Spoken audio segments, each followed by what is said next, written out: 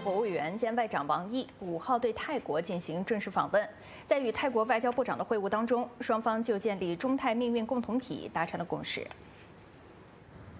中国国务委员兼外长王毅在与泰国外长会晤后的联合新闻发布会上表示，当前世界充满乱象和变局，但中泰关系稳固前行，前景光明。当天的会晤谈及的议题都是友好与合作，特别是双方确立共同打造中泰命运共同体，将有力推动两国关系未来的发展。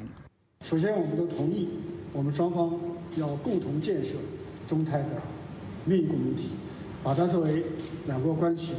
未来的发展方向和目标，要通过我们共同努力，来开创更加稳定、更加繁荣、更加可持续的中泰关系的美好的未来。王毅指出，建立中泰命运共同体愿景的确立，不仅为中泰传统友谊赋予了新的内涵，也将大力推动两国各领域的合作。这个愿景的确立，既为中泰一家亲的传统友谊赋予了新的时代的内涵，也为我们全面战略伙伴关系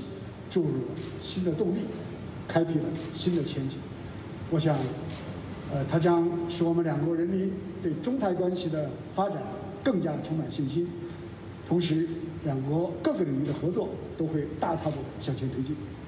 泰国外长敦帕马威奈在发布会上也表示，今年是泰中建立全面战略伙伴关系十周年，双方要为实现更稳定、更繁荣、更可实际发展的泰中命运共同体进行实践。凤凰卫视吕媛媛、王涛，泰国曼谷报道。